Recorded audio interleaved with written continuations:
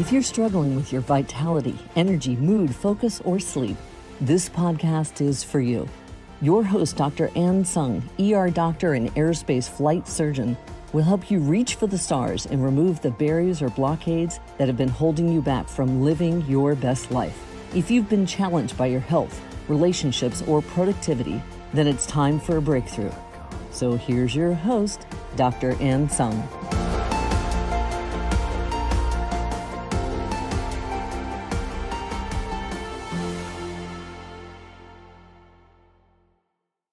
Welcome to It's Not Rocket Science Show. I'm your host, Dr. Ann Tsung. In this episode, I'd like to talk about my journey in the podcast creation. Uh, and we'll talk about the cost, the initial steps I took, the lawyers I spoke to, how I hired a podcast marketer and a producer, like a creator essentially. And then we're going to talk about some of the supplies, the hosting accounts I had to get. Um, we'll talk about the recording itself, the podcast recording portion, and we'll talk about post production. So essentially, it, I will list out for you a series of action steps that I took and some of the costs associated with it when uh, I decided to begin this podcast. And so let's go ahead and dive in. I first had the idea uh, after meeting a podcast creator and a marketer at a Mindvalley conference early 2020, actually before COVID hit. And that idea had been in my head for about a year before I actually uh, took action on it because at that time I was uh, busy finishing the aerospace medicine fellowship. And also, uh, I went to Russia after I was hired on as a flight surgeon by NASA. So it took some time, but that idea had been brewing in my head for about a year. And finally, in 2021, I decided to take the steps and just go for it because I wanted to make my voice heard. I learned all these things um, about productivity, about health, and about you know mindset and it is just a more effective way for me to share what I've learned with the world. And I had to get over my fear of speaking to the public, of, you know, really not being afraid to be my authentic self. Because, you know, if people, all I can do is be me. And I just think that that's actually the number one step when you are creating a podcast. Don't be afraid of being yourself, speaking up on what you believe in, speaking your truth and don't like think about what other people are going to think of you because as long as your intentions are true then there's nothing to worry about if you're doing and saying things you believe in then there's nothing to worry about. You're just being yourself. So i think that's step one when you're deciding to start a podcast. And then later on um I actually did this later. I spoke to a lawyer way later, but I would suggest actually speaking to a lawyer ahead of time, the very beginning, because when you you know you you think about your podcast ideas and you know for me as a physician i need to decide whether i'm going to be hosting this podcast more as a physician or a coach and i am not giving medical advice and i'm more like a coach and not giving advice as a doctor or physician.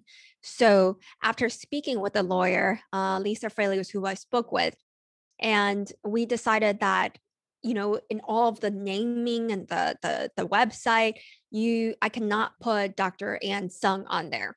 I can put my credentials like md and mph master in public health but i and i can't do dr so and so because it's implying i'm giving advice or uh, talking as a physician. And so that that has other legal ramifications. And i didn't do this uh, consultation until way later when the logo's been made, the website's been made, and I had to go back and change, like take out doctor from everything. So I would suggest speaking to a lawyer, deciding whether you're going to be a coach or physician, if you are a physician, and speaking with a lawyer to make sure you have the right disclaimers to protect yourself um, and the right privacy terms and uh, all the documents that you need for your website. Number two, I would highly suggest hiring someone to help you guide you through the process. Um, I hired the podcast marketing coach and creator, and it cost $10,000 to produce and create the first five episodes. Though that includes, you know, everything starting from scratch. It's like a turnkey podcast creator um, company. And I would say when you're looking to hire someone to help you, definitely you gotta talk to their references, at least three references. And it would be better if it's somebody in your field, of course. And then number two, you would look at their professionalism, of course, um, their timeliness, uh, punctuality, and um, who's working on the team. You look at their deliverables and you make sure you understand the deliverables that they're going to give you. Like, are how many edits are they going to be doing? Are they going to be doing the show notes for you? How are they doing the handovers for you if they're handing over things to you? Um, are they going to do be doing audio, video editing, and any social media posts for you? So all of those things are different items that people can offer, and it's just very important to look at the final deliverables uh, list initial on the initial console and make sure you really understand basically what all it entails. So, and then after I hired my marketing coach, then the first thing really was to talk about what what is my passion or what is the topic I want to discuss.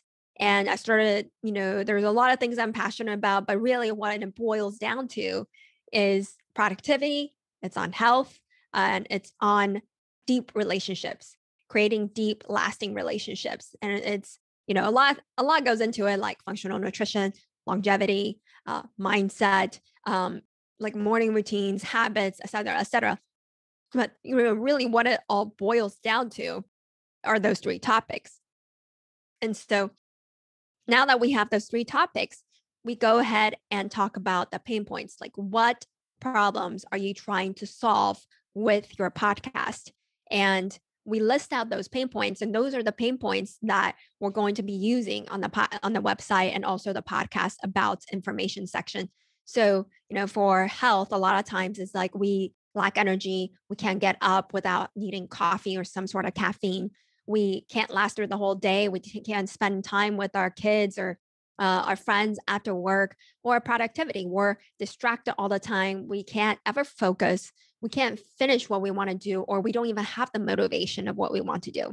And then also relationships a lot of times we you know relationships with ourselves being true to ourselves and relationship with our family our loved ones a lot of times there's friction there there's long lasting friction there that takes a lot of forgiveness a lot of compassion a lot of active listening nonviolent communication. So those are some of the pain points i dive into on my website. And then after that you want to uh, think about your ideal target audience and how you can help them. So when I think about my ideal target audience, it's almost like an audience like me who wants to learn more. Professionals, high performers already, they want more in life after they are already successful by measure of, you know, the world, but they feel like there's something missing that they're not fully complete or happy. They want to be able to produce more, to achieve more. They want to have loving connections, deep relationships with others and colleagues I would say it's somebody who is probably in their 20s to 40s, a female professional who wants to be able to have self care for herself, joy and happiness for herself, and be able to give to her family and be thriving professional as well and thrive in her work and be successful in her work. So um, you can get very very specific about your target audience as well. You can even you know have the location where they live their exact age their exact profession. So it's kind of like the avatar you want to think about your avatar. And then um, after that you think about yes the problem that you're going to solve for them. And for me i decided that i'm the person who can help people create time create vitality create deep relationships so that they can achieve peak performance and fulfillment in life. And then, after deciding on the topic, all those pain points, the next thing that I did was that I picked a color theme for my website. And I picked green and white because it has to do with health and wellness. And I picked um, the title actually was an idea from my podcast marketing coach. And I would say go to the trademark website um, and search for your podcast title that you come up with to see whether um, it's been trademarked or not. And if it hasn't, it would be a good idea to do it. And also look up the domain name to make sure that it hasn't been taken. I picked It's Not Rocket Science Show because it was free. And I also um, picked the uh, domain of AnnTsung MD as well, just to make sure I have that, and Dr. AnnTsung, just to make sure I have that covered. And then they would use the title of your podcast and the color theme to create your logo and also a banner for the website. Um, I got the website domain for about $12 each domain. And then the next step would be to write a short bio or and then a long bio for the website. Who you are, why should they listen to you, what you're passionate about. And then in my long bio, I discuss why I created this podcast. And then following that, I created a free gift for others so that when they come to the website, they will be able to receive like a free gift from me. It's a it's the principle of reciprocity. And then so my idea at the time was to create a productivity course, a mini course uh, for seven days. But initially it was a PDF, but I thought it would be more impactful that when people can hear from me. So I recorded seven days worth of video, placed them on YouTube that's unlinked, and I hired someone uh, to create a MailChimp campaign. So essentially, when the customers enroll, when they go on the website, they'll see free productivity or a free gift um, uh, how to 2 3x your productivity in half the time, three power action steps.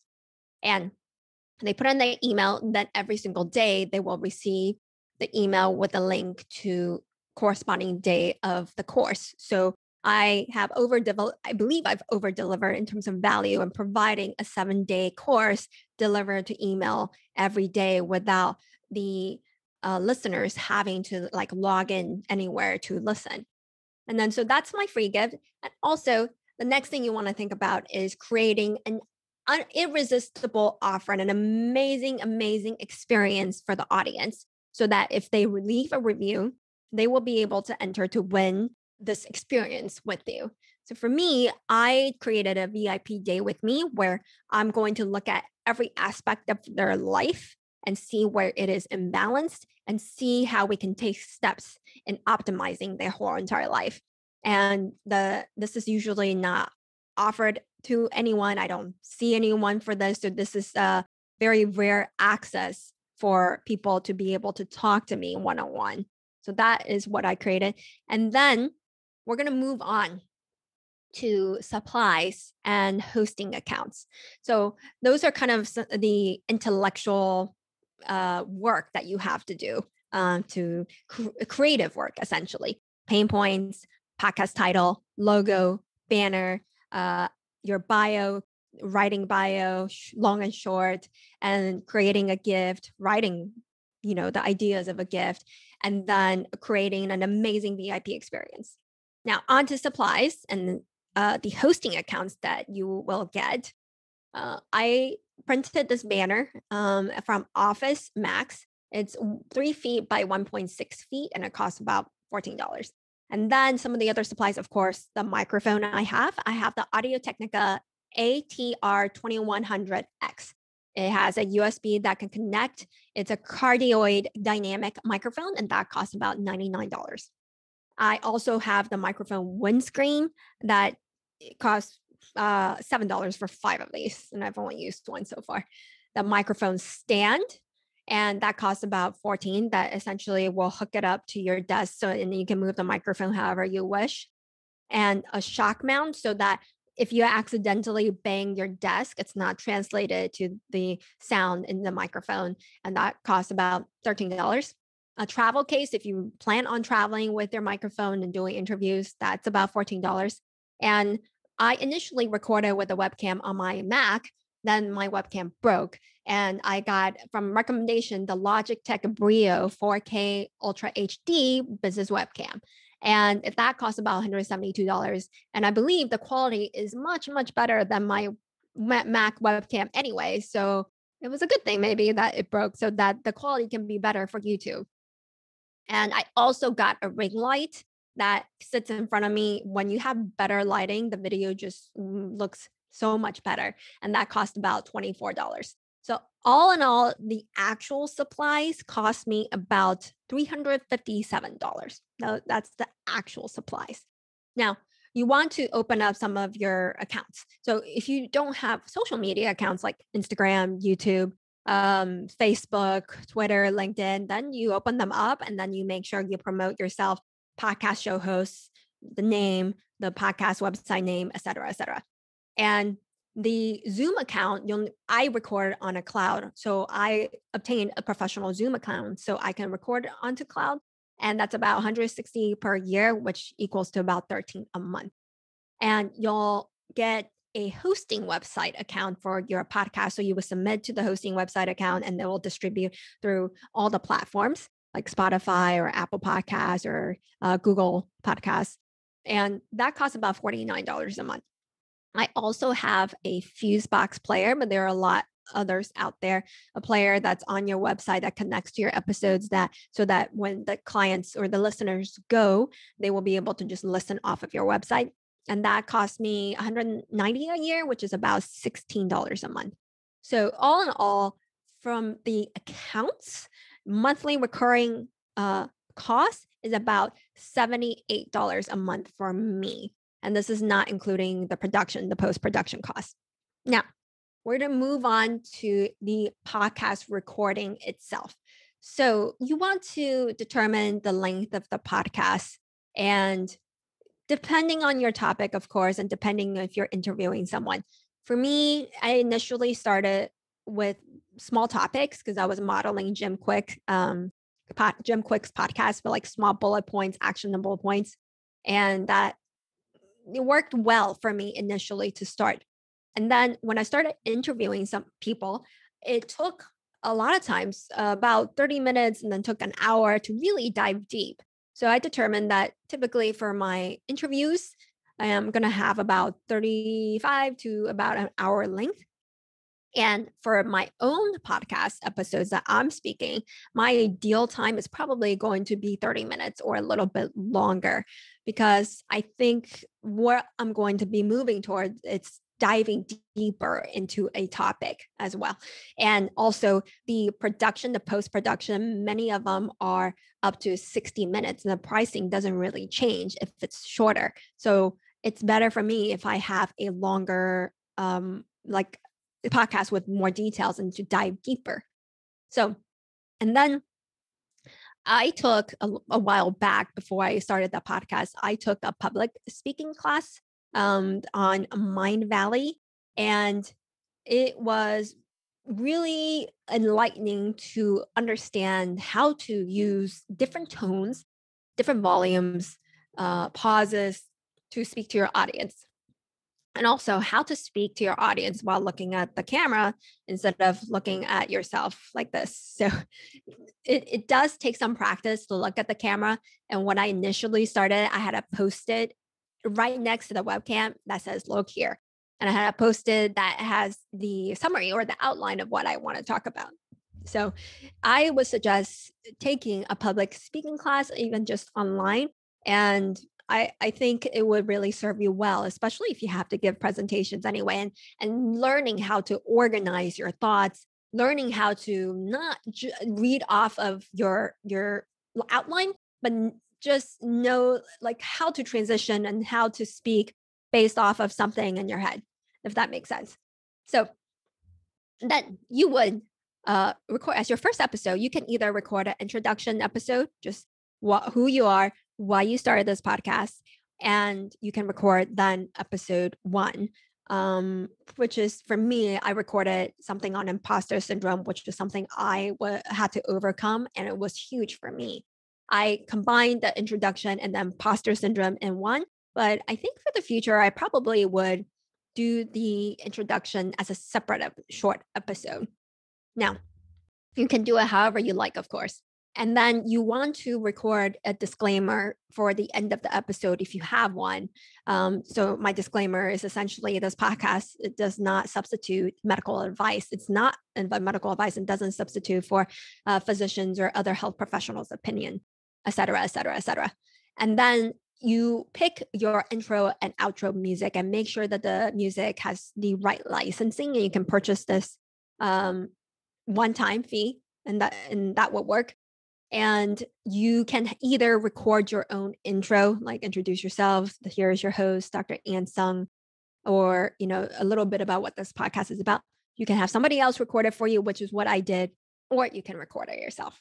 Now regarding interviews you can reach out to people you already know for interviews or you can ask for referrals. So i interviewed uh, somebody that my podcast creator uh, work with and thought would be a good interviewee for me.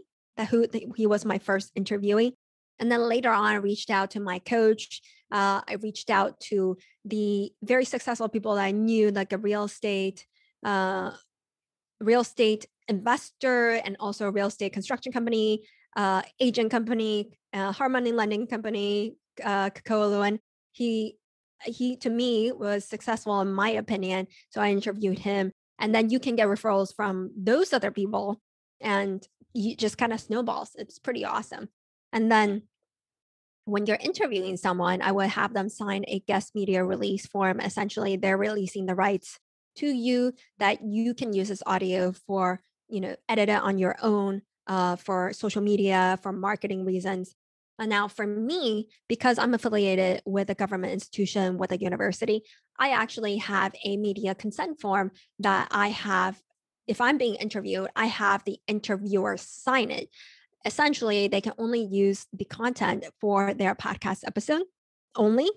And anything related to the podcast episode, like marketing or social media posts. But if they're going to use any of the content for any other purposes than the podcast, then they would need my consent just because I need to see uh, that it is not endorsing anything, which I usually don't want to endorse any brands at all whatsoever. And if they're the brands I use, I will provide multiple other brands or other hosting, um, other companies to use if possible. So basically, everything I have listed, all the brands I have listed for you, again, not endorsing them. Those were recommended to me.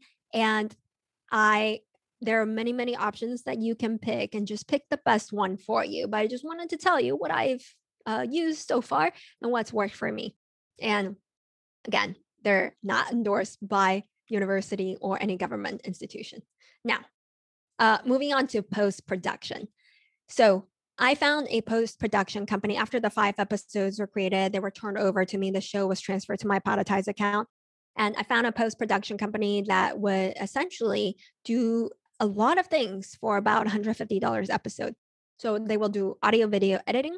They will do the social media um, post like they will create the the logo or the image that has like title put the interviewee's photo on there take out some quotes on there and then they also create a short video clips to uh, promote for promotion purposes on social media accounts and they'll take the transcription of the episode, they'll write the show notes from there, have a summary, and they'll any links or resources that you've talked about, they'll put it at the bottom and have links to them.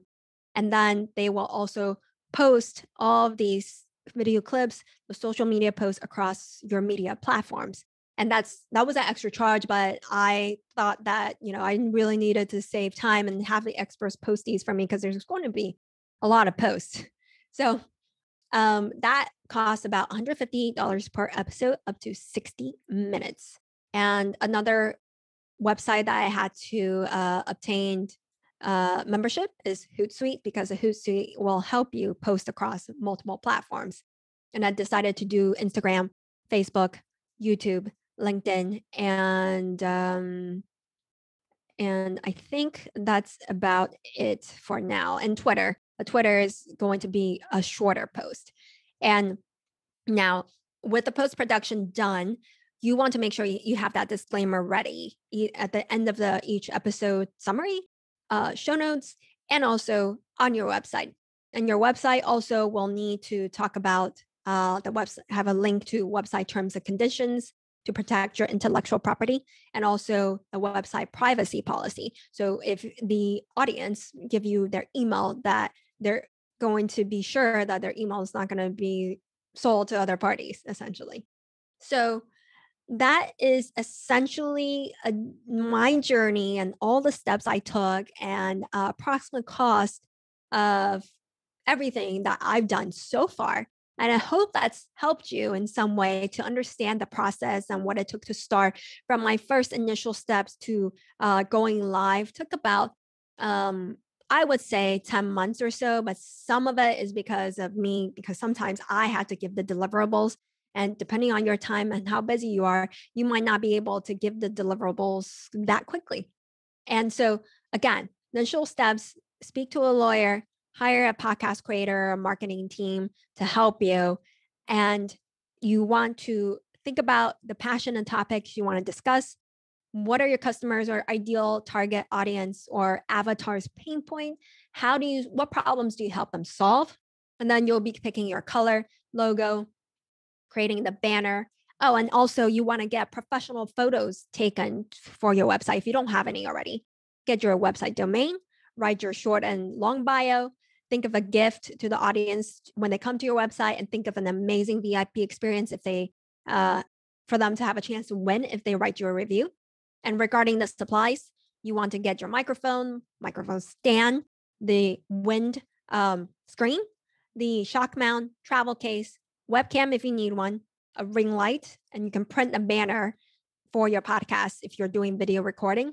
And open up all your social media accounts you want to get your Zoom cloud recording, whatever you want to use, your podcast hosting website, your online website player account, and then you move on to the podcast recording portion.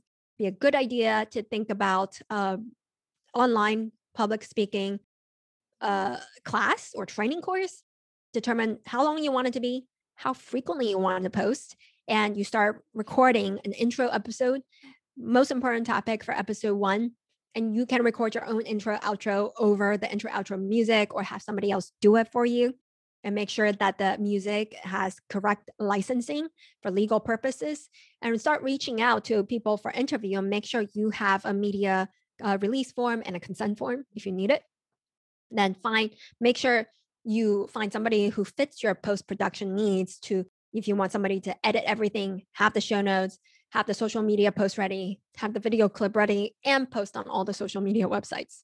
The last thing, really, spread the word. Don't be afraid. Spread the word to your friends, your family, your loved ones, because I mean, this is why you created the podcast, right? Yeah, so that the world can hear you. You don't want to be shy about because I had to go through that. I was, you know, I, I wanted it to be perfect and ready before I spread it to the world. But even then, I don't know if I want the whole world to hear, which is kind of strange. That goes back to another thing of not be afraid to be your authentic self and just, just it serves the world if they can hear your voice.